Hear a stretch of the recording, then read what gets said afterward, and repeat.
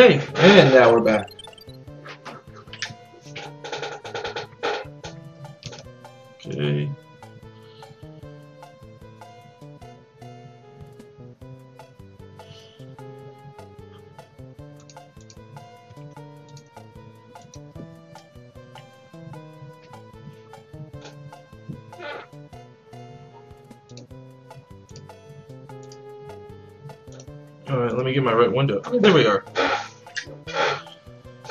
We had a really smooth first two worlds. We're gonna...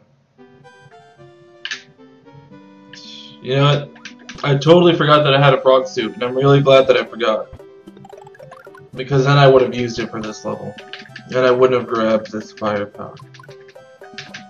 See, I actually kind of lied. There are a couple uses for this in this game.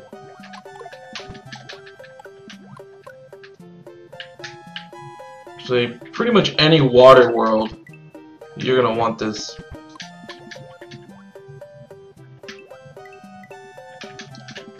But, I don't know, I guess that's just how I play. I'm weird, though. Maybe you like using the fire flower all the time, always. And there's nothing wrong with that. We're gonna try to hit it in this top corner. Oh. I told you, the only thing I'm actually consistent, good at consistently hitting to the stars. Alright. And fuck this level. Pretty much, remember when I was a kid, I used to say anytime you heard this music, shit was about to happen. It's like, it's not the song you want to hear. I mean, it's a great song. Oh man, that would have been a star had I not fucked up. Oh. Oh, fuck me. Shoot your damn fireballs, and there we go. I'm not gonna lie, I thought I was gonna get my first death in that level.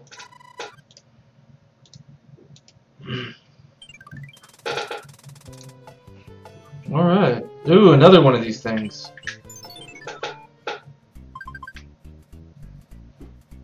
I love how anytime you flip a card, you get that item. It makes me happy. Oh, flower, where you at? Where you at? I know where that mushroom's at.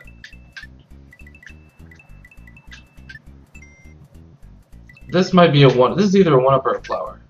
Oh, it's mushroom. Fuck, where's the mushroom? I want to say it's here or here, but I don't think they'd put them next to each other. Oh. Fuck you, dude.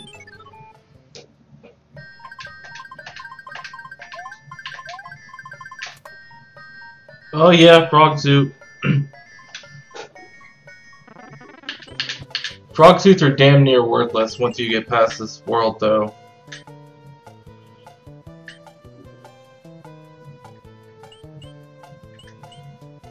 I'm honestly surprised that I only have a row and a half.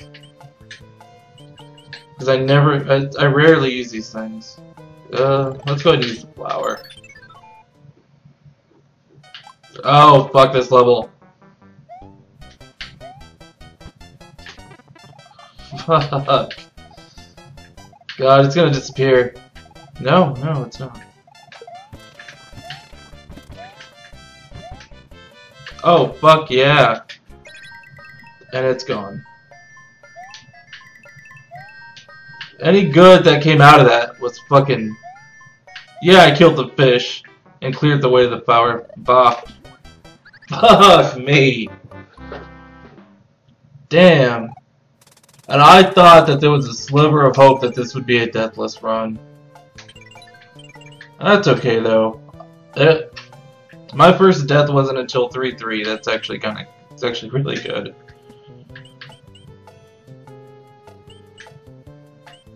Well, I mean, I don't know. Anytime I want to say that I'm doing good, I compare myself to all like the world record speedrunners I watch. And I'm like, I'm nowhere near as good as that, but... Oh. I still pretend that I, I'm pretty good. So if I say I'm doing pretty good, it usually means that I'm doing pretty good for for me. Alright, go on. Go on, you fucker.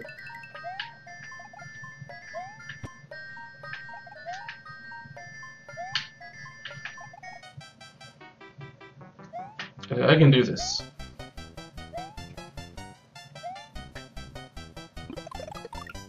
There we go. Die.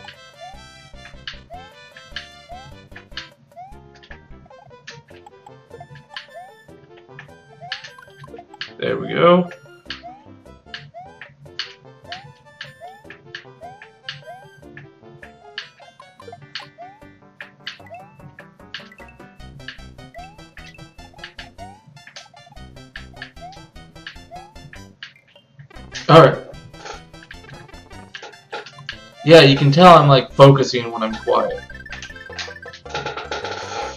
Ooh. It's hard to be upset about a death though when I have 23 lives. Luckily, why did I use a star? Fuck, I shouldn't have done that. Oh well.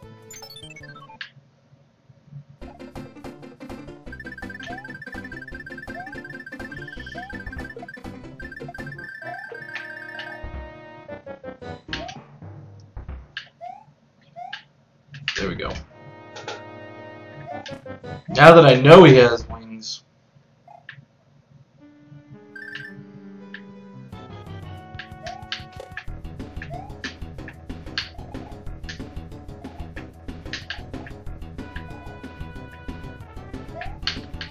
Oh, come on.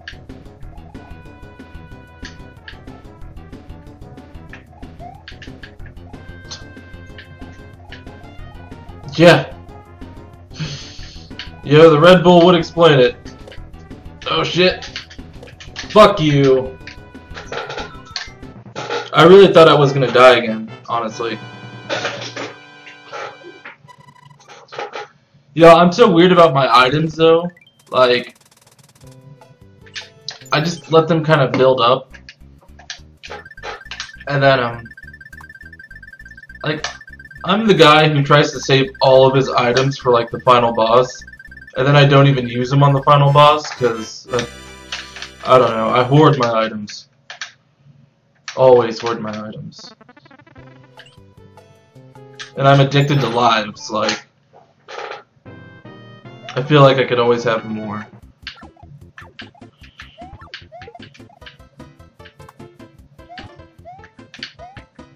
Really? Nothing? I think it's the fourth one.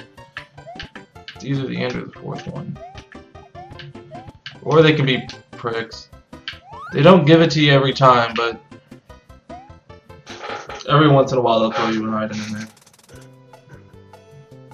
Now, to a casual player, they would done try to bust out the hammer right here, but that's a stupid idea. Hmm. I think 4 is going to be a level like three? No, because like the World Three with the stupid fish and the moving blocks. There's another one like that. I think it might be six or seven though. Five is really annoying, but I have a frog suit. And I don't see myself using frog suits past this level. I think later on there's maybe a fortress or two where you actually are underwater, but that by that point, maybe if I knew exactly where they were, I'd try to conserve the frog suit, but I don't care. I am just trying to make world... oh, fuck. So much for the frog suit. I'm just really trying to make this world as painless as possible. I really don't like this world. You know, and it's not even that I don't like it. Like, I do enjoy this world. I think, I love all the worlds in this game. They're all unique and, you know, it's, none of them are really repetitive or anything, but I just think they're, uh, I've just never been a fan of underwater worlds. They always seem to be a little more difficult.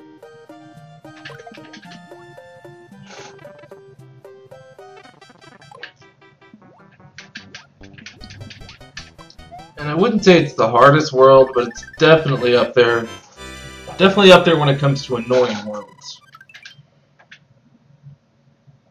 My personal favorite's World 5. I've always loved World 5, even as a kid, and it was so fucking hard when I was a kid. But...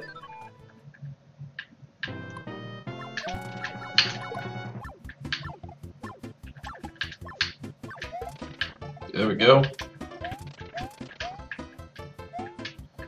But World 5, it was just so unique in its cloud world, and it had two separate parts. That was like the coolest thing about it, was it was a two-part world and and the transition between the two worlds was like this. Are you fucking kidding me? Uh, I would just suicide in that world, but.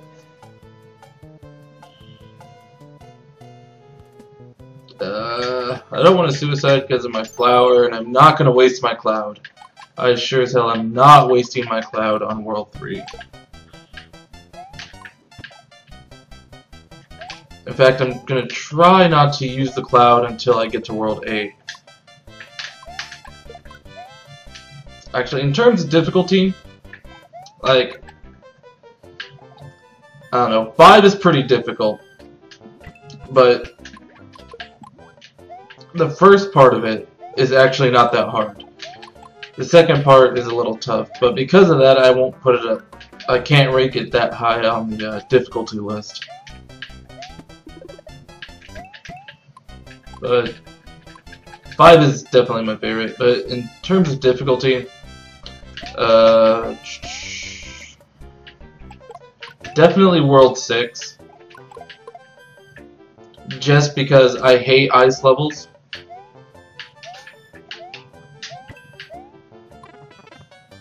Uh, outran my fireball. Yeah, World 6 is actually really one of my favorites, but it's so hard. Like, there's a lot of unique monsters in that level, and, uh, but just lighting around on ice is so fucking annoying. Like, 7? World 7's really awesome, too, except... Uh, some levels are difficult. Like, there's a couple of difficult levels in World 7, but but the ones that are difficult are really difficult. But there are a few easy levels, that's why I can't really put that up there either. But personally, I would rather do World 8 than World 6. World 8 is actually not that bad.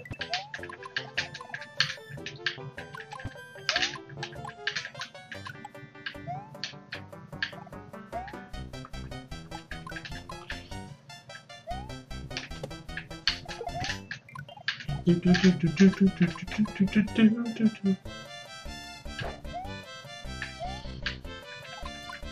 in case anyone noticed, um, before I jumped into this level, I thought about going the other route with the boat, but I was actually in the middle of talking about something and I wanted to give a little bit of an explanation before I went to the boat, so I wasn't ready to talk about it.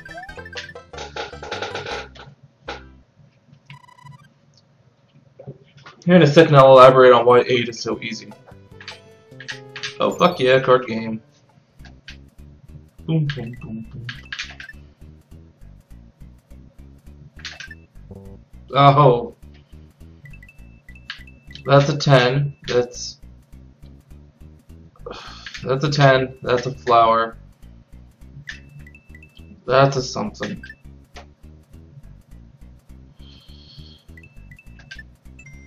Woot! Oh, really? I got him fucking backwards. I could have finished that off, too.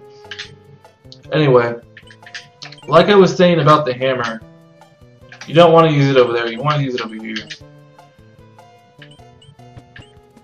Because you get three mushroom houses and two matching games. Or two, yeah, I guess matching games.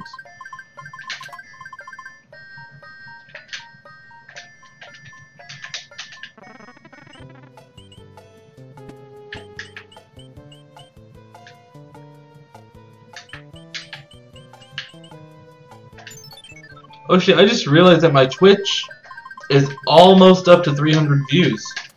So, you know, uh, keep it up, guys.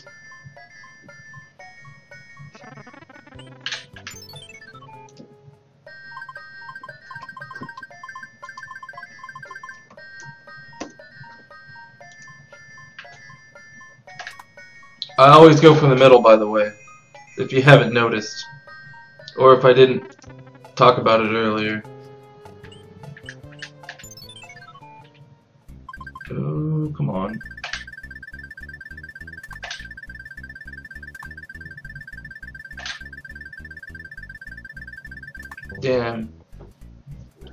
Actually, sometimes the mushrooms are your safe bet because like I mentioned earlier, you have your star and your flower, and between each of them there's a mushroom. So you actually have two mushrooms, a star, and a flower. So you have a 50% chance of hitting a mushroom. Oh fuck, I fucked it up, I knew it. There we go.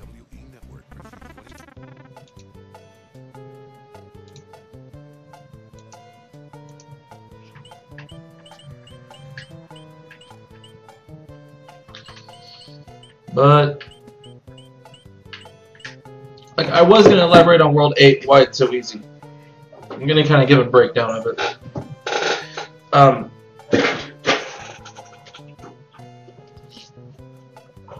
yeah, while I'm actually doing Stage 8 of World 3. Here it is. I knew another level like this was coming up. Alright. Oh, come on. No. Not today. Shit. Sometimes playing this level, playing this game with the control stick is not all it's cracked up to be. It helps out most of the time, but then you have shit like that. Well, if you're like me, you spent most of your time in World 8 because you warped there as a kid. And once you finally warp there and you're like, oh my god, I'm awesome because I got all the way to World 8. But deep down you knew, you fucking knew that you probably weren't good enough to be there. And you knew that was some major shit about to hit the fan.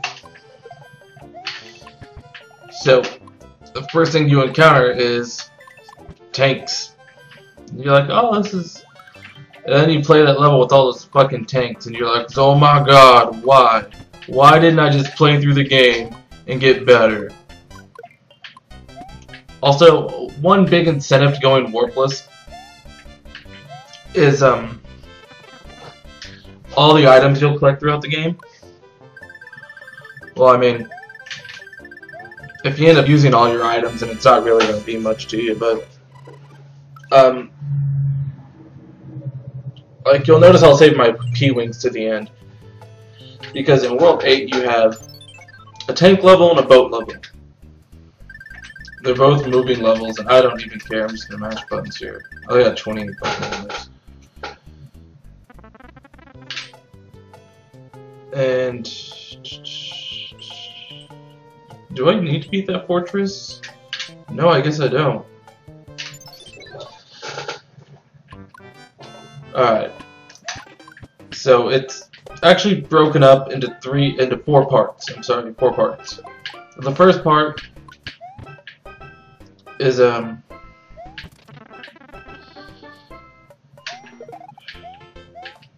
know, I was actually thinking World 8 isn't that long, but now that I think of it in four parts, it's actually it's actually kind of long. I guess World 8 is about the size of a normal level, but okay. So you have the boat and the tank levels, the moving levels and everybody should know what those are like. Alright, now, the second part is you'll actually have this area where you come across five squares. Three of them are levels, two of them are not, but the first, third, and fifth squares are levels. And now they're not always mandatory. I'm not sure exactly what determines which ones you have to go into, but as you're crossing them, fuck, fuck, fuck, as you're crossing them, a hand will pull you down, and it'll make you run that level. Unfortunately, the levels are really quick, really fast. I think you could probably beat them all maybe 20, 25 seconds. And at the end of it, you'll get a leaf. You'll get a leaf for your troubles. And you'll go on to the next one. I remember as a kid I was so afraid that the hand was going to pull me down because I didn't want to do the levels. But oh, as I got to be older, we're gonna frog suit just to get just to fucking use it, just so I don't go in there small. Like I would always be so terrified that the hand would pull me down and fucking I'd die on that and I'd get my game over. But as an adult, I realized that I actually go through and do all three of them anyway. Like, they're all short. They were much harder when I was a kid, but looking back on it, those levels are fucking easy. They're like the easiest levels in the game, damn near. I don't know if they're so easy because they're short, but And well, now when I do them is because if I do play with warps, um, I'll want to get the leaves from the level. Because, you know, they're really helpful, especially if you have no items. but once you get past those levels, you get to... Okay. Now, on all the other worlds, you'll notice all the levels are actually numbered. Once you get to the third part, you'll actually start your numbered levels. And there's only two of them. And they are both... I didn't check Steve. Oh, Windio, you whore. Oh, shit. Oh, I just showed Windio my old face. Want. Alright. like I was saying you'll actually start the two numbered levels, which are really difficult. But if you do them just right, you won't need P-Wings. I mean, I could play through them, but I don't want to. It's kind of a waste of time and unnecessary deaths. I'm not that good. Not good enough to run them flawlessly yet. So you can just fly over them. And if you didn't save your P-Wings, you can actually do some tricks like when I was 13, I found out that if you ran really fast in this one room, hit the tunnel while you were at full acceleration, you could come out of it flying and pass through the whole level. Because there's not really any room to uh, any room to accelerate. So save your P-Wings for those two levels, and then you'll have one more tank level once you enter Part 4, and then Bowser's Castle. Um, if you've saved your items, you can do them pretty well. The tank level, if you have to use a P-Wing or you just happen to have an extra one, you could use it there. The boat level, you can swim under it. If you never played the game before, I'm talking foreign language. If you have, then you kind of know. And you're probably wondering why I'm saying it's easy, but once I get there, I promise you, World 8's fucking easy. And I got another uh, another music box. I don't really use these things.